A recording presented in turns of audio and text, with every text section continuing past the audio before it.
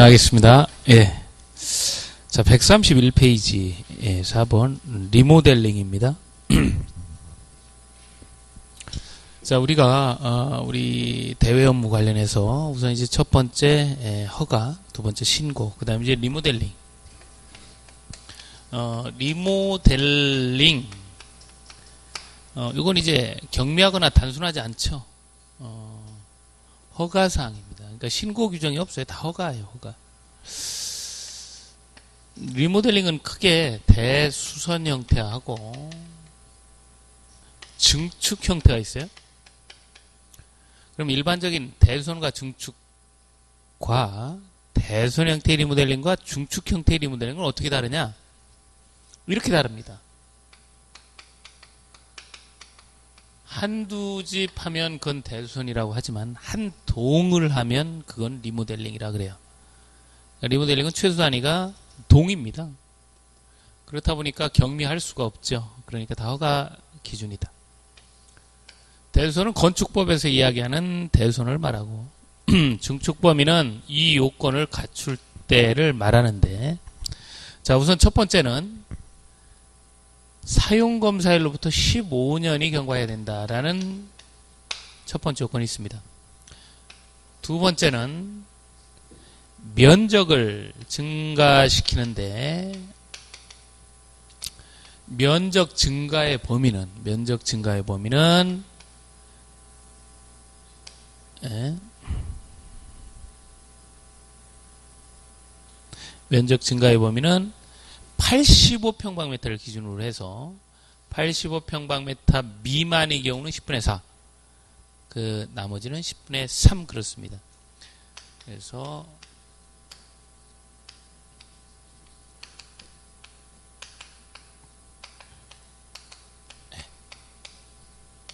요게 이제 새롭게 들어간 부분이죠. 네. 자, 그 다음에 이제 세 번째 세대 수준가인데요.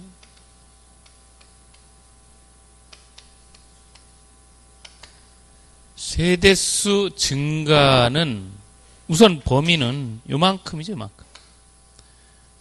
요만큼 범위 내에서 100분의 얼마요? 15. 예전에 10% 늘렸는데 지금 15%, 올해부터 이제 15%죠. 자, 세대수를 늘릴 수 있는 방법은 크게 네 가지가 있습니다. 이거를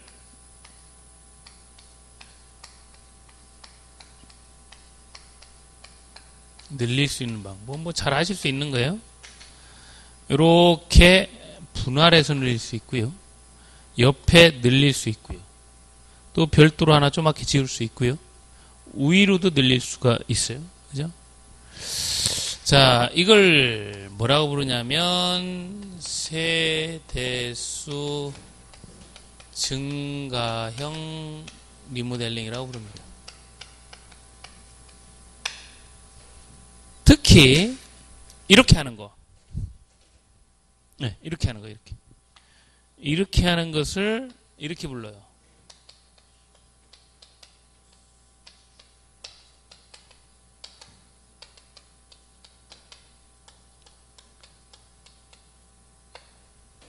그래서 올해는 리모델링 중요하다고 하는데 이제 이게 체계가 딱 잡혔죠. 그래서 요거 요 특징 네 가지와 수직 중축형 특징 두 가지가 있는데 뭐 안전 진단과 안전성 검토 두 가지가 있는데 그것보다도 뭐 단순하게 15층 미만은 두 개층 어, 이렇게 뭐 이런 표현은 좀 14층 이하라는 표현이 낫겠네, 그죠? 14층 음, 이하. 두 개층.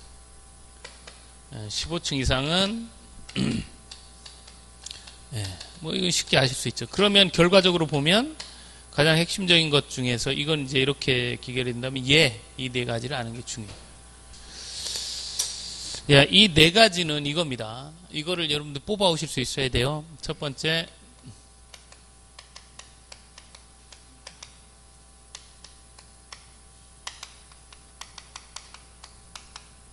도시계획위원회 심의를 받아요. 이거는 50세대 이상 증가하는 경우에만 받습니다. 두 번째,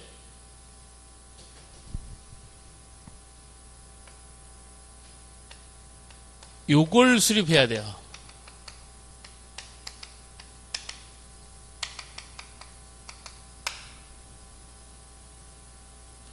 이건 사업 주체가 수립합니다. 그러니까 뭐 이렇게 표현하면 리모델링 하는 자가 수립하는 거죠.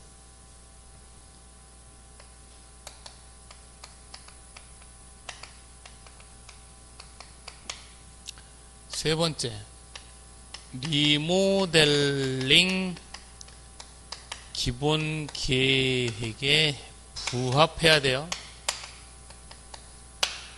네 번째, 시기를 조정할 수가 있습니다. 그래서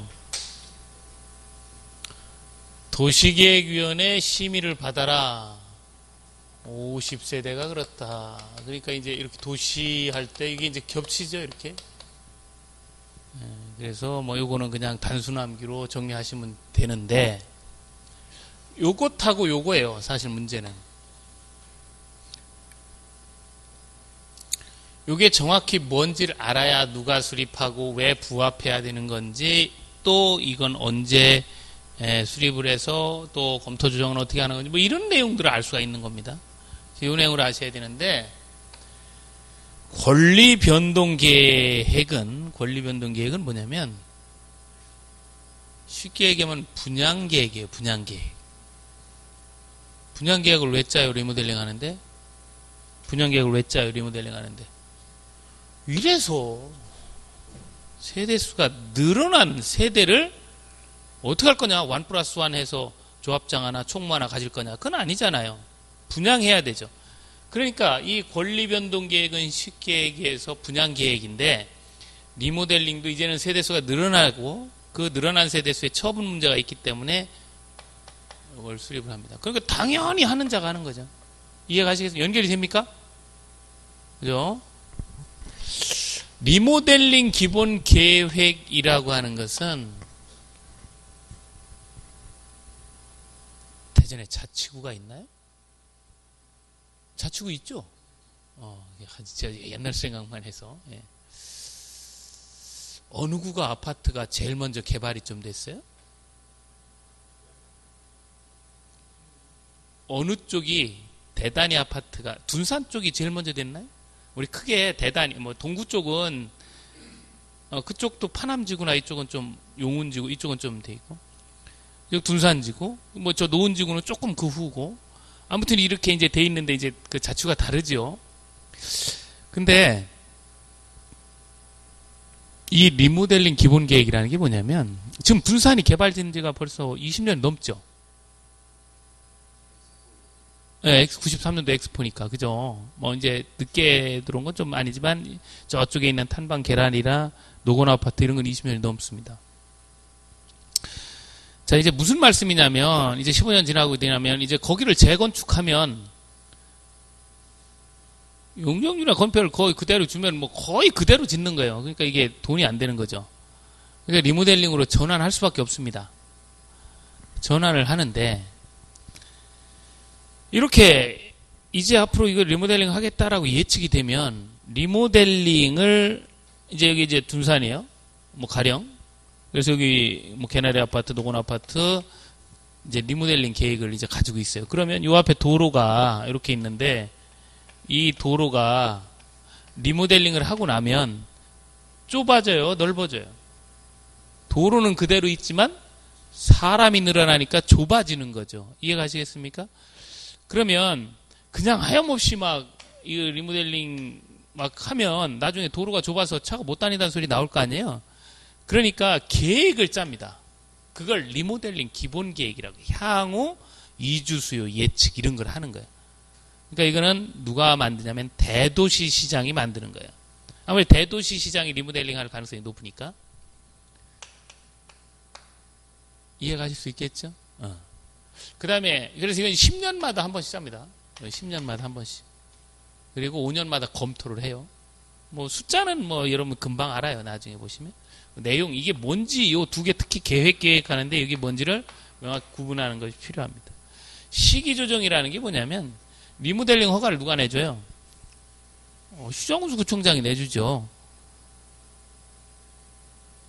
근데 시도지사가 이렇게 보니까 아유 지금 리모델링이 너무 붐이에요. 뭐 이거 한꺼번에 막 이런 문제가 있어요. 좀 있다 해.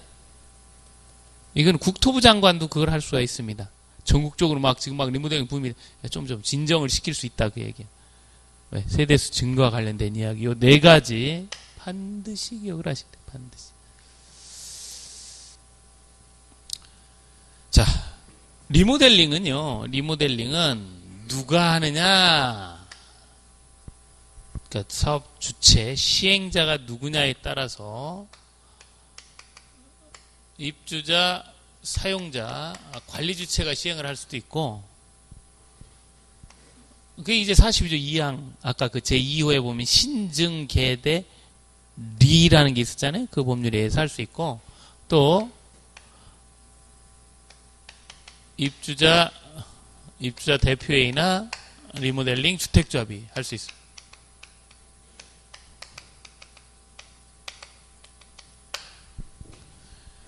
근데 이제 지난 시간에 행여가 봤지만 뭐 대손한다 공동주택 대손한다 그럼 당해동 입주자 3분의 2 뭐 이렇게 돼 있잖아요. 그럼 이것도 리모델링 이사 등을 한다 그러면 그 소유자 동의를 받아야 돼 소유자 동의 이것도 행위니까 이자가 한다 그러면 소유자 전원 이렇게 동의를 받으라 그래요. 여기 하겠다 그러면 이것도 입주자 전원 이렇게 동의를 받으라 그럽니다. 여기서 하겠다 그러면 아 이건 구분 소유자 및 의결권의 5분의 4 이상만 받으면 된다 이렇게 얘기를 합니다. 그래서 구분 소유자와 의결권을 구분한 이유는 세대와 면적을 다 봐서 공통적으로 80%가 넘으면 리모델링을 허가해 준다. 이제 그 얘기예요. 그러면 사람들이 이렇게 할까요? 이렇게 할까요? 아이, 이렇게 하겠죠. 그죠? 어, 등율이 80%니까. 우리가 이제 언론에서 이야기하는 리모델링 바로 어, 이겁니다. 시험과 관련해서는 요걸 기억하셔야 돼요. 요 둘이 리모델링을 한다. 그러면 철회권이라는 게 존재합니다. 뭔 얘기냐면 내가 리모델링 동의를 사인을 했는데 가만 생각해 보니까 아이 좀 기다렸다 재건축하는 게 낫겠어요. 아, 나 안 해, 안 해, 안 해. 지워져, 지워져. 그건 시장군수구청장이 제출하기 전까지 이걸 할 수 있어요. 요건 안 되고요. 음. 걱정됩니다. 예. 창문을 열까 닫을까 고민 많이 했었어요. 예. 자, 이자가, 이자가 리모델링을 하는 경우는 철회권을 주지 않고 있어요. 현행법상. 그리고 또 하나 정리하셔야 될 게 뭐냐면 매도 청구권이라는 게 있습니다. 이 매도 청구권은 리모델링 주택 조합의 경우에만 존재합니다. 그렇죠. 5분에서 하니까. 여기는 내가 동의 안 하면 못하지만 여기는 내가 동의 안 해도 하죠. 에이, 난 재건축 끝까지 하려고 기다렸는데 하겠대요. 그럼 내 거 사라. 이해가시죠? 어. 어, 자, 요게 이제 요번 시험에서 주의 있게 보셔야 될 부분이에요. 요번 시험에서 이제 새롭게 에, 언론이 아, 이 새롭게 이제 이야기되는 부분이 요 부분. 또 요 부분. 또 요 부분이에요. 이런 것들은 이제 예전부터 있었던 부분이고요. 예. 자, 131페이지 봅니다. 어, 그 정의는 요걸 지금 설명을 드린 거죠. 그죠? 요거, 요 내용을 쫙 풀어서 설명을 드린 겁니다. 그 다음에 증축형 리모델링에서, 어, 증축하겠다 하게 되면 안전진단을 해야 된다라는 부분이죠. 어, 132페이지에 보시면 세대 증가형 리모델링. 네 가지 신경 써야 돼요. 세대가 늘어난다. 이만큼 늘어날 수 있잖아요. 범위 내에서. 그죠? 1000세대면 150세대가 새로 생겼어요. 이거 어떻게 할 거냐? 고민해야 돼. 그게 바로 권리 변동 계획이다. 네 가지, 예, 그 네 가지를 잘 정리하실 수 있어야 되고, 수직 중축형 리모델링은 위로 올리니까 이게 지금 15년 이상 된 노후화된 거잖아요. 시장도 걱정이 많이 되죠. 이거 올렸는데 무너질까. 그러니까 시장이 직접 해요, 안전 진단을. 예, 그 얘기가 132페이지 수직 증축형 리모델링 그러면 안전지단이 맨 먼저 나옵니다. 누가 한다고요? 시장 군수, 구청장은 이렇게 돼 있죠? 음. 그리고 또 전문기관의 안전성도 어, 이렇게 검토를 하지요. 자, 예, 134페이지 리모델링 기본 계획 있습니다. 어, 보시면 어, 이제 그 내용은 제가 좀 설명을 드렸어요. 그죠? 둔산 이야기를 하면서. 거기 보시면 리모델링 기본 음, 계획이란 이주 수요에 집중 이런 걸 관리하는 거예요. 누가 하느냐? 특별시장, 광역시장, 대도시 시장이 한다. 왜? 이쪽에서 아무래도 리모델링 많이 하니까 저쪽 시골에서 리모델링 안 하잖아요, 그죠? 자, 그 다음에 거기 보시면 10년 단위로 한다. 찾으셨나요? 네, 10년 단위로 한다. 동그라미 1번에 있어요. 수리권자 대상 지역에서 동그라미 1번에 10년 단위로. 자, 절차는 여러분 한번 보시고, 고시 이렇게 돼 있는데, 예, 음, 그 고시에 동그라미 2번 보시면 5년마다 타당성 검토한다. 이런 얘기 나옵니까? 예, 뭐 10년, 5년 있는데, 뭐 문제가 나오면 그게 나올 수도 있습니다. 주관식 간단하게. 근데 그것도 아, 이게 올해부터 적용이 되니까 하고 얘기 주시해서 본 것과 또 다르죠. 그래서 아까 동그라미 친 요 세 가지는 올해부터 적용이 되는 이야기예요. 자, 리모델링 주택 조합. 예, 우리가 이제 리모델링 주택 조합 5분에서 하라 그랬는데, 예, 이걸 이제 세부적으로 보면, 주택 조합이 하려면 사전에 조합인가라는 걸 받아야 돼요. 조합 인가 동의율과 사업 시행 동의율은 다릅니다. 이건 구분 소유자 및 의결권의 3분의 2고요. 이건 5분의 4예요. 자, 리모델링 요건은 이제 문제를 통해서 확인할 겁니다. 자, 하나 136페이지 6번에서 하나 기억을 하나 해야 될 부분이 있어요. 세대가 늘어난 리모델링 증축을 하면요. 공용 부분은 늘어들까요? 줄어들까요? 줄겠죠. 아무래도 거기 갔다가 몇 세대 분양을 해버렸으니. 그러면 줄어드는데, 불변한 것으로 봐요. 원칙적으로. 원칙적으로. 그런데, 세대수가 늘어나는 리모델링 하면 반드시 해야 되는 게 뭐예요? 이거. 그죠?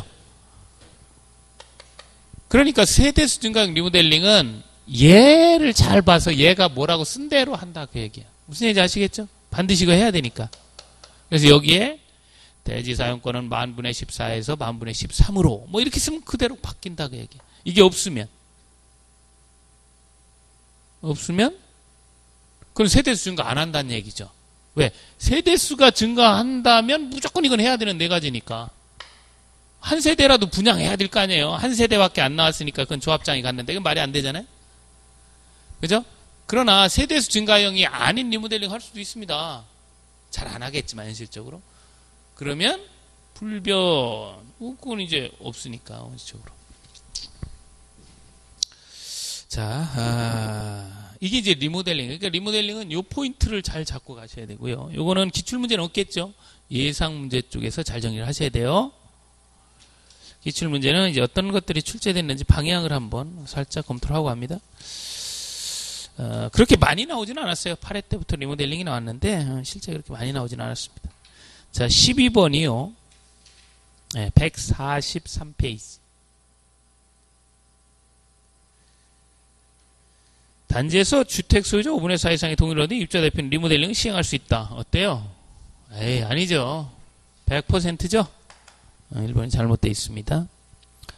어, 공동주택 리모델링은 안전진단을 먼저 합니다. 공동주택은. 예. 다수의 구성원 리모델링 하기 위해서는 인가를 받아야 된다. 아까 이거 인가 받아야 되죠. 뭐 이렇게 받아야 된다 그랬잖아요. 그죠?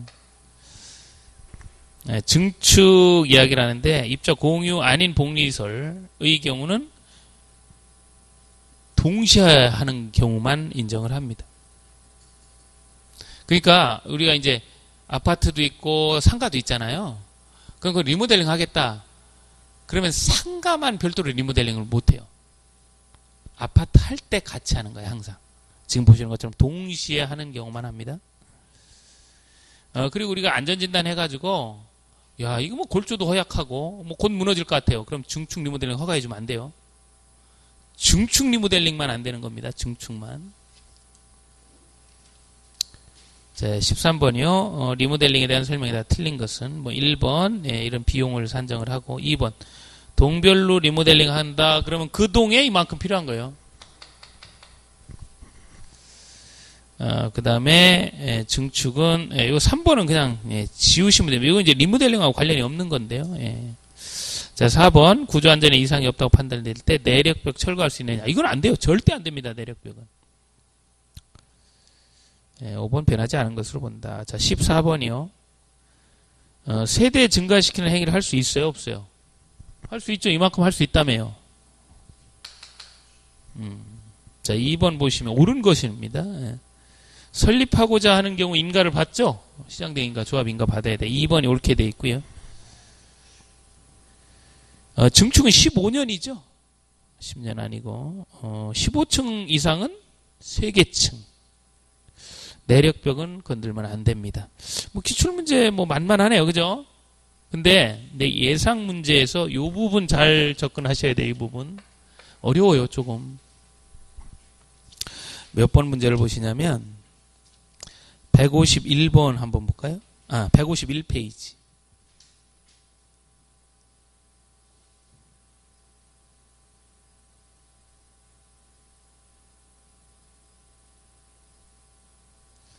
자, 주택 법령상 리모델링에 대한 내용이 다 옳지 않은 것.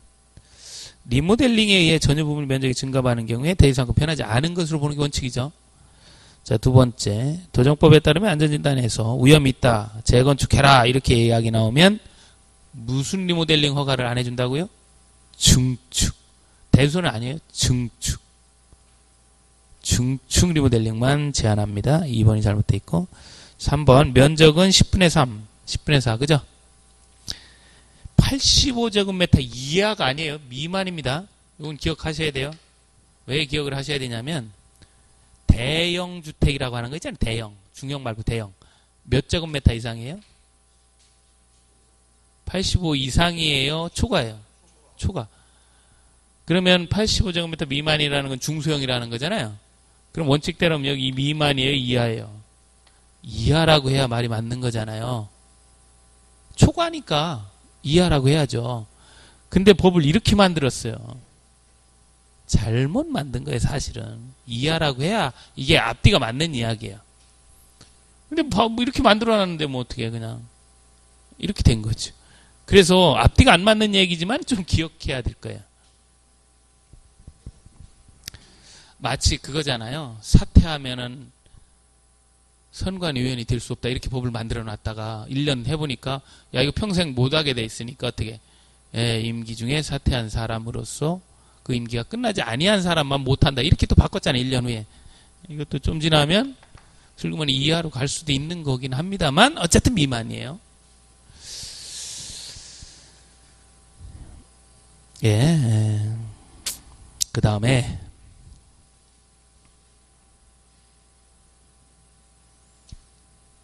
3, 아, 4번 보시면 공동주택 리모델링 할 때 복리시설 이용은 괜찮지만 분양은 안 됩니다. 분양은 안 돼요. 어, 5번 보시면 매도 청구를 할 수 있다. 이 매도 청구권은 어디에서만 써야 돼요? 좋아. 어, 그러니까 5번 맞네요. 그죠? 이런 지문이 어려워요. 입자 대표 회의는 뭐 할 수 있다. 이렇게 나오면 아니죠. 그죠?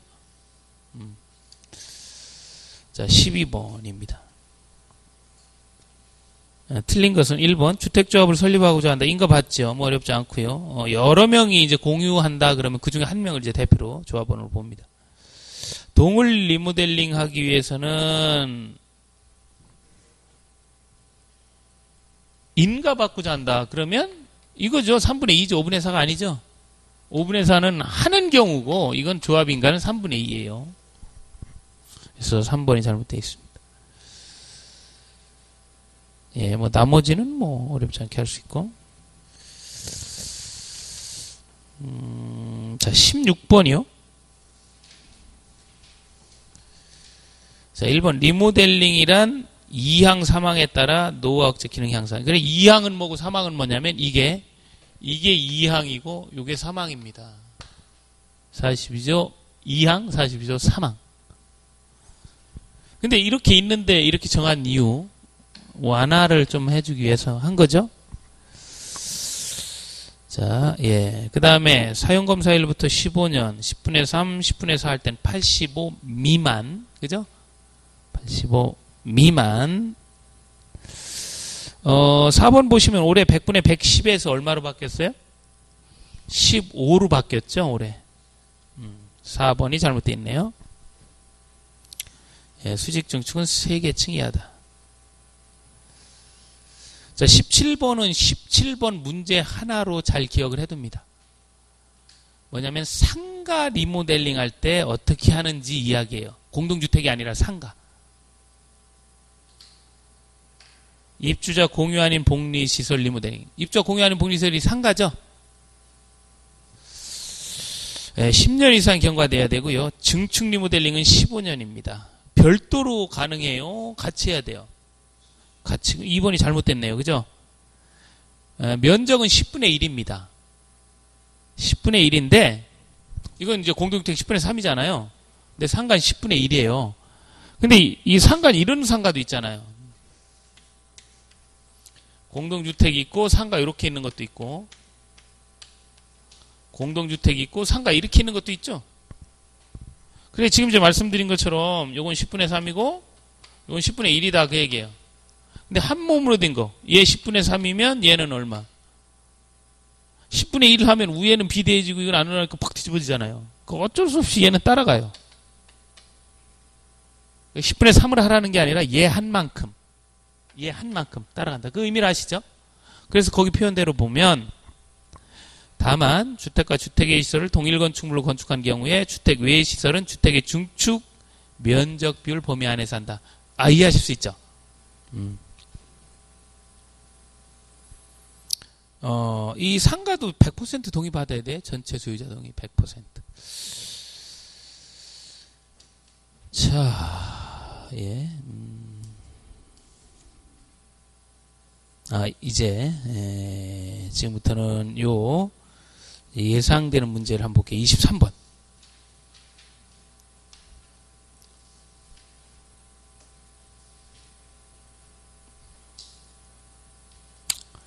자, 1번 세대수 증가가 가능하며 범위는 15% 이하다. 맞죠? 자, 2번 2년 이내 사업계획 승인을 받아야 됩니다. 그러니까 인가 받고 2년 이내 승인 받아야 돼요. 어, 이것도 마찬가지예요. 30세대 이상 늘어나는 경우 사업계획 승인 받고 29세대까지는 그냥 리모델링 허가 받으면 돼요. 3번 서면 철회. 철회는 누구 얘기 나와야 돼? 3번은 지문기인데 철회 거는 얘하고 얘하고 얘죠. 어. 그렇게 됐는지 확인해야 돼. 자, 4번 보시면 안전진단 해서 위험하다 그러면 중축형은 안 된다 그랬죠? 5번 보시면 세대수 증가형 리모델링 할 때 도시계획위원회 심의를 거쳐야 한다. 30세대에요, 50세대요? 요거잖아요. 50세대. 여기 여기.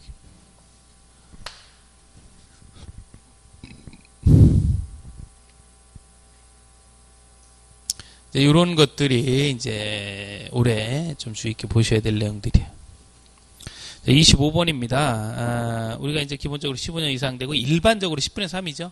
물론 이제 85제곱미터 미만은 10분의 4입니다만. 예. 2번 어, 리모델링 주택조합 설립 인가를 받아야 되고요.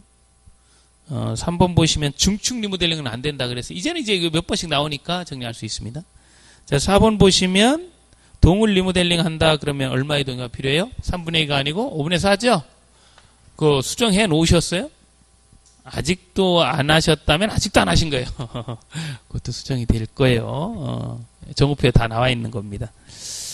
내력벽 철거는 어쨌든 안 됩니다. 음.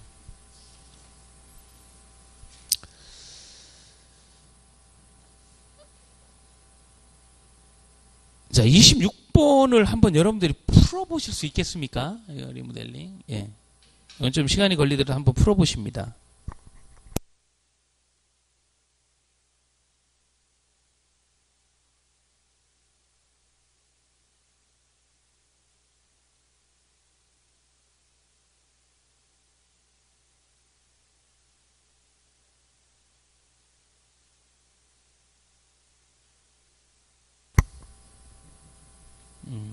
옳은 것은이기 때문에 답 쉽지 않아요.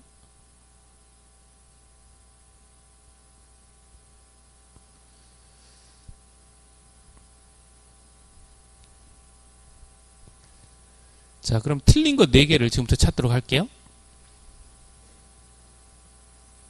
1번은 금방 찾았죠? 15 금방 찾았어요. 2번도 금방 찾았죠? 내력벽 안 됩니다. 3번도 금방 찾았어요. 3계층. 15층 이상은, 그러니까 15층도 이상이니까. 4번, 이건 맞아요? 틀려요? 세대수 증가하면 심의 받아야 돼요?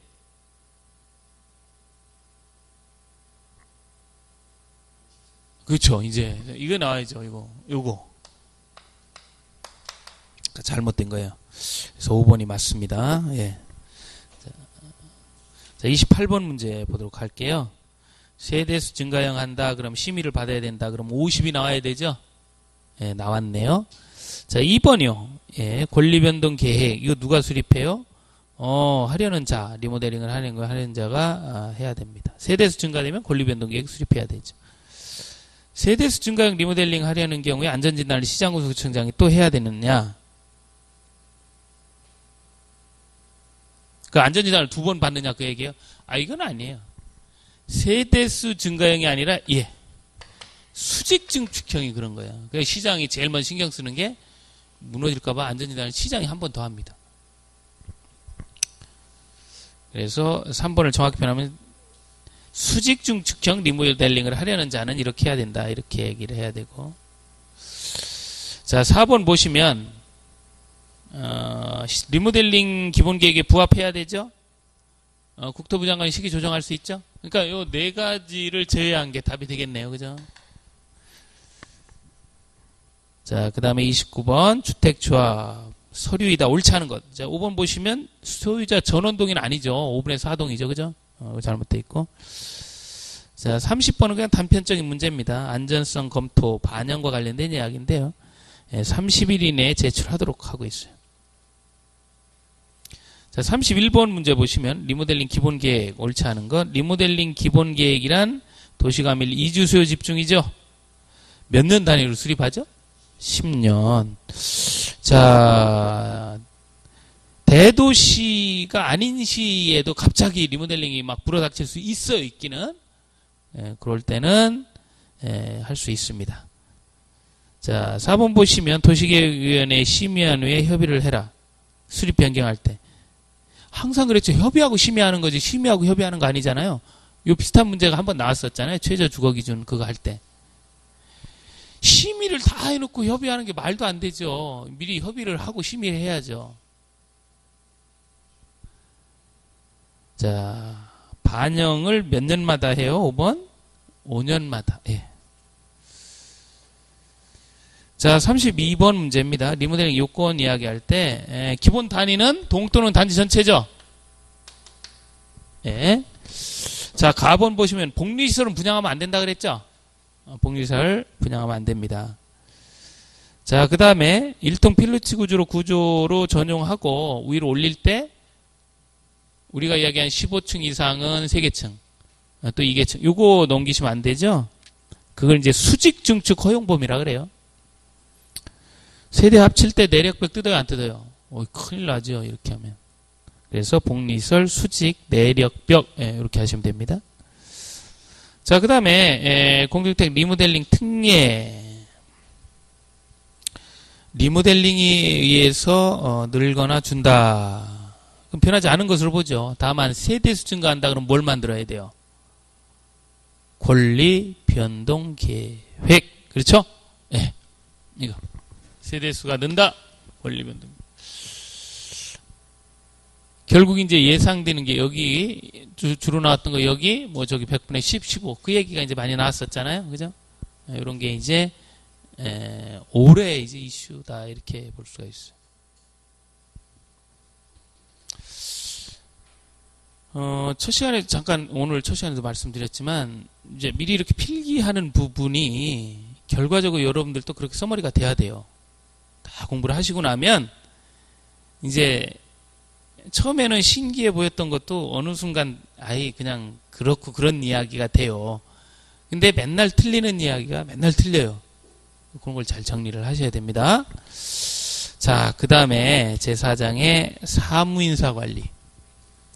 여기는 뭘 배우는 데냐면, 관리사무소 이야기예요. 관리사무소 이야기.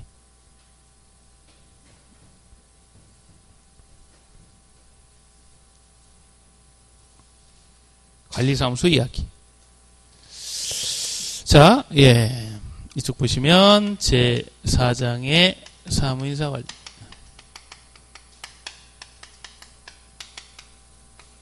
관리사무소 이야기고요. 네 문제 정도 나오다가 요즘은 한 다섯 문제까지도 확대되는 경향이 있습니다. 관리사무소 이야기고요. 관리사무소 이야기니까 문서 이야기도 하고 직원들 이야기도 하고 뭐 보험 이야기도 하고 그래요. 그런데 직원 다른 거 문서나 이런 건 법에 다 나와 있지만 직원들 이야기는 그 사람이 직원이 뭔 생각을 가지고 있는지 요거 봐야 되잖아요. 이게 이제 이론적으로 접근하면 직무 구조론상 이제 동기부여 이론이나 이런 게 이제 개입이 되는 거예요. 그리고 근무를 잘하는지 못하는지 근무 성적도 평가를 합니다. 이런 이론적인 부분도 들어 있고 또 노사 관계와 관련된 부분은 노무 관련 법률이 또 들어있고 또 복리후생과 관련해서는 보험 관련 법률도 들어있어요. 굉장히 범위가 광범위합니다. 그래서 여기는 우리가 그냥 흔히 하는 관리사무소 이야기지만 뭐, 뭐한 번에 찍으세요. 한세 문제 반타작. 어, 아주 잘한 거예요.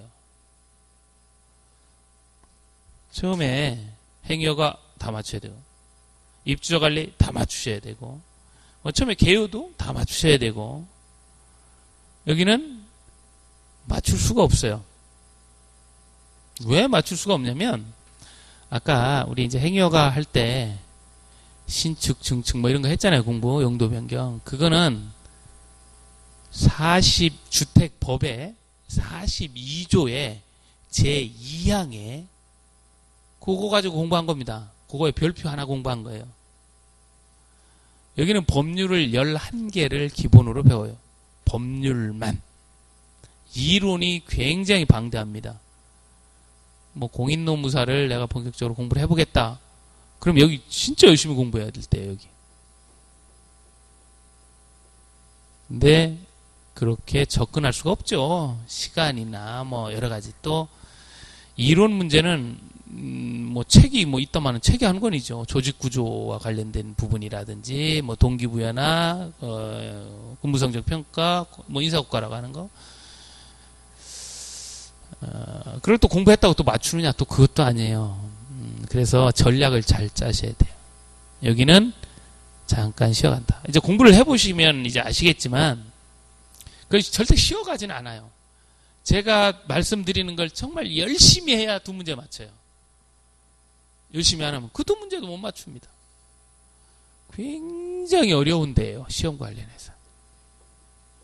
그래서 이거를 공부를 해보시면 예, 네, 행위어가 열심히 하겠습니다. 어, 그 얘기를 거꾸로 한다니까요. 왜? 제가 그랬잖아요. 범위를 알려주는 것만 해도 엄청난 여러분들한테 행복이에요. 어디에서 나올지 모릅니다. 여기는. 그리고 실제 출제했던 문제 기출 문제도 보면 교재 없는 이야기도 많이 나와요. 그리고 우리 법도 있고 시행령도 있고 시행 규칙도 있잖아요. 근데 이제 11개 법률에 시행 규칙까지 다 실을 수가 없어요. 법의 이야기, 중요한 이야기만 관련된와 관련되는 것만 싫습니다. 근데 문제는 어디든지 낼 수가 있어요. 시까지 추세가 그렇습니다. 그래서 다시 한 번 말씀드리지만 여기는 지금부터 이제 할 부분이 있는데 열심히 하면 다섯 문제 중에 아주 심각하게 하면 두 문제 맞춘다. 이렇게 생각하는 거예요. 세 문제 틀려서 어떻게 하느냐? 그거 틀려도 합격할 수 있게끔 공부를 하셔야 된다 그 얘기예요. 처음에 말씀드렸잖아요. 80점. 밖에 맞출 수가 없어요. 근데 여기를 무리해서 난 다 맞추시겠다. 예, 할 수도 없지만 예, 그렇게 공부하려면 몇 년이 걸리죠. 자, 전략을 짜고 합니다. 그래서 여기는 이제 아까 말씀드렸지만 관리사무소예요. 문, 크게 대별하면 문서와 직원입니다. 문서, 직원. 그래서 처음에 이제 문서 관리 형태를 공부를 하고 그 다음에 직원과 관련해서는 노무 관리죠. 어, 이건 이제 노무 관리고 포괄적으로 하면 인사 관리예요. 네, 주로 이제 이론적인 분야고 이거는 노사 관련 법률과 관련된 이야기입니다. 그래서 이제 출제는 주로 이쪽이 더 많이 나와요. 이쪽이. 왜냐면 이제 근거 이런 것 때문에. 근데 이론도 나옵니다. 그래서 보통 하나, 이쪽이 둘 이런 식으로 나와요. 그래서 이건 좀 포기할 수도 있다 그 얘기예요. 이쪽도 깊이 나오면 하나 정도는 버릴 수 있다 과감히. 그 다음에 세 번째가 보험 관리죠. 어, 우리 이제 사회보험이라고 하는 4대 보험 이야기에 산재, 고용, 국민연금, 건강보험 이야기. 여기도 굉장히 복잡해요. 건강보험 법률이 한 80조 이상 조항이 됩니다. 법만. 근데 건강보험에서 안 나와요, 문제가. 나올 수도 있어요. 이걸 어떻게 맞추냐는 거죠. 우리 한계 조항 공부하기도 힘든데. 그래서 여기는 접근을 잘 하셔야 되고, 어, 이제 보험 관리에서는 주로 이제 그래도 기출 문제를 분석을 해보면 산재가 꾸준히 나온 추세를 취하고 있고, 노무 관리에서는 근로 기준법, 요게 매해 꾸준히 나옵니다. 그러면 어차피 꾸준히 나오는 거 범주에서 정확히 학습을 해서 거기서 나오는 두 문제 맞추면 성공. 음. 그거 틀리면 안 되죠. 그죠? 어. 그래서 이제 지금부터 요 이야기를 하도록 할게요. 자, 첫 번째 문서 관리인데요. 5년, 3년, 2년 이렇게 구분을 해요. 이건 뭐 여러분들 그 교재에 다 나와 있습니다만 관리비나 퇴직금, 중간 정산 서류 5년이에요. 이것도 났어. 3년 서류가 4개가 있는데 이건 반드시 기억을 하셔야 돼요. 4개. 3년 서류, 보존 서류 4개가 있습니다. 여러분들 생각에요. 2년 보존하는 서류하고 3년 보존하는 서류가 있다, 법에. 그럼 어떤 게 중요한 거예요? 3년이 중요한 거죠. 그러면 중요하다고 하는 게 어떤 거냐면 사회적 약자나 쉽게 잊혀지는 것들, 또 보호돼야 될 것, 이런 것들이 중요한 겁니다. 그래서 이 3년 보존해라 라고 하는 그 네 가지가 사용자가 아닌 근로자, 성인이 아닌 어린이, 상수도가 아닌 하수도, 이런 것들이에요. 그리고 고용안전 관련된 남녀 고용 평등 및 일가정 양립 지원에 관한 법률. 에 나오는 서류. 이런 서류가 사, 아, 네 가지가 3년 보존 서류입니다. 그래서 일반적으로 이제 대별되는 거 있잖아요. 뭐 예를 들면 하수도의 방류 수질 기준 3년인데 수도에 먹는 물 있잖아요. 먹는 물의 수질 검사 기록은 2년이에요. 승강 2년, 뭐 소방 2년이에요.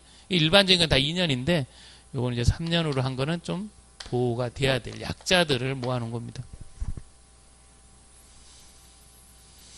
자, 이렇게 해서 이제 보존 기간은 정리를 했고요. 그 다음에 이제 노무 관리적인 측면에서 이제 가장 중요한 게 근로 기준법이고, 근로 기준법은 반드시 시험에 한 문제가 나옵니다.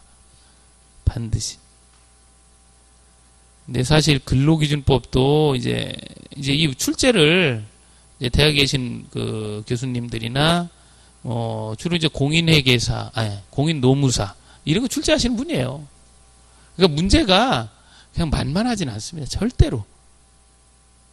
어떤 분야의 어떤 문제도 그래 만만한 문제는 없어요. 다만 우리가 미리 가서 그만큼 연습해서 보기 때문에 어, 예상이 됐고 이런 문제들이라 쉽게 푸시는 거지.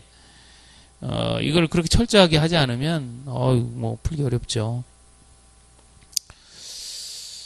어, 그래서 예측이 가능한 부분들을 정리할 텐데요. 그래서 이제 확률을 최대한 높이는 거예요. 또 단기간에 학습을 하다 보니까 또 그렇게 할 수밖에 없습니다. 자, 우선 근로기준법은 이건 반드시 하고 가야 돼요. 근데 다 할 수는 없어요. 법률이 뭐 이것도 한 100여 개 되니까. 조항이. 그럼 근로와 관련된 기준되는 법률이에요. 우리가 이제 인사관리라고 할 때 이론적으로는 인간적인 만족감이라고 이야기를 합니다.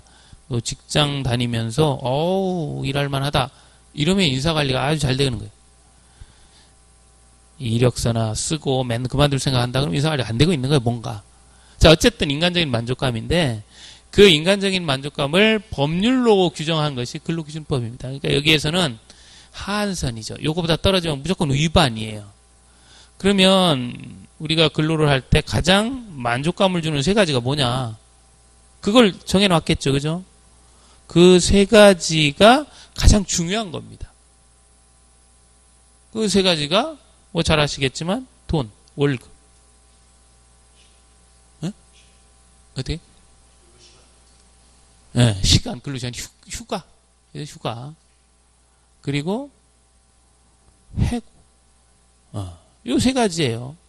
그래서 임금, 휴가, 해고가 돌아가면서 시험에 나옵니다. 또 이것도 또 들여다 보면 무엇이 출제될 가능성이 있다라고까지는 접근이 돼요. 그죠? 그 세 가지. 뭐, 그 누구에게 물어봐도 다 마찬가지예요. 연봉이 뭐 10억 된다 그래도 내년에 그만둬. 그럼 그것도 좀 그런 거고요. 아, 10억이면 그만둘만 하겠네. 연봉 1억 준다 근데 내년에 그만둬. 이건 좀 생각해 볼 문제예요. 그죠? 연봉 1억 주고 평생 고용하는데 토요일 일 없고 맨날 12시까지 일한다. 이것도 생각해 볼 문제. 휴가가 있어야 돼요. 그리고 임금, 휴가, 해고의 문제인데 그 조항이 한두 개가 아니라는 거예요. 문제는. 그러니까 우리가 공부한 부분에서 나오면 아주 쉽게 맞추지만 그렇지 않으면 고민이 됩니다. 이게 대표적인 게 17회 문제인데요. 17회 때 휴가가 나올 것이다 이렇게 예측을 했어요. 그 전에 뭐 해고가 나오고 임금이 나오고 이렇게 돌아가면서 내니까 휴가가 나왔어요.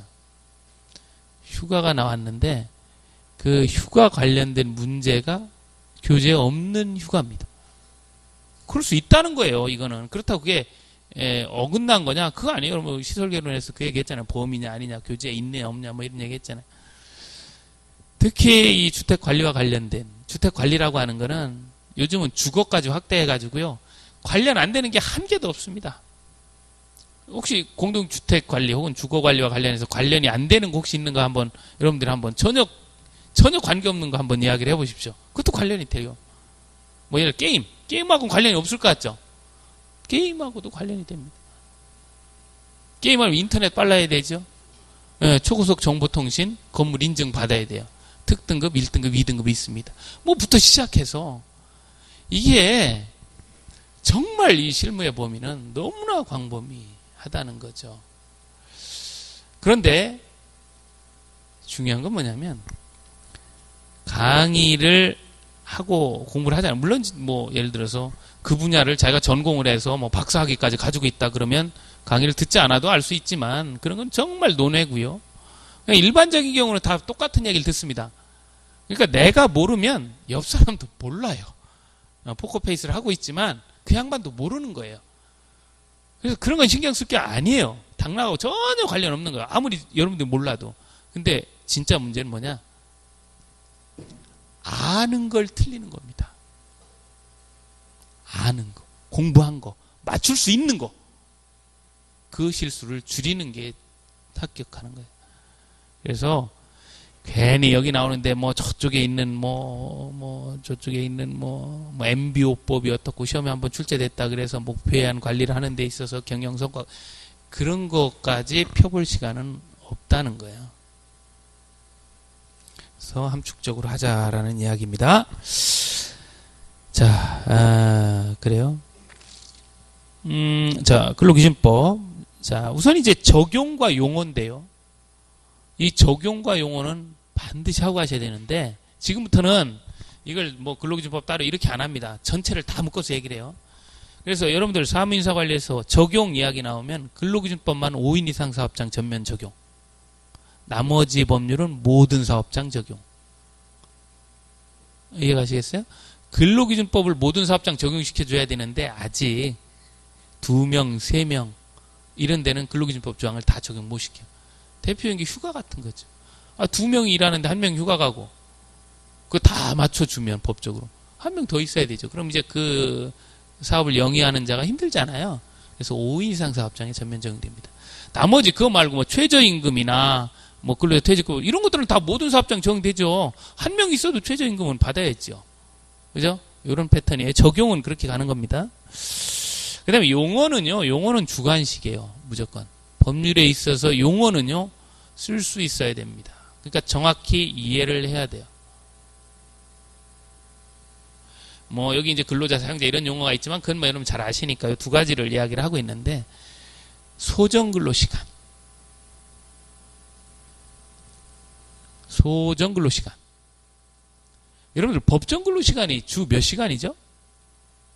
40시간 그걸 법정 근로 시간이라 그래요? 소정 근로 시간은 그 한자로 쓰면 이렇게 됩니다.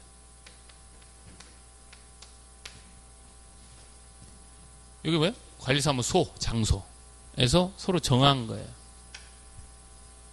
그럼 주당 몇 시간이에요? 모르지요. 서로 정했으니까. 상대적인 개념이다. 그 얘기예요. 소정근로 시간은. 얼마? 이게 아니에요.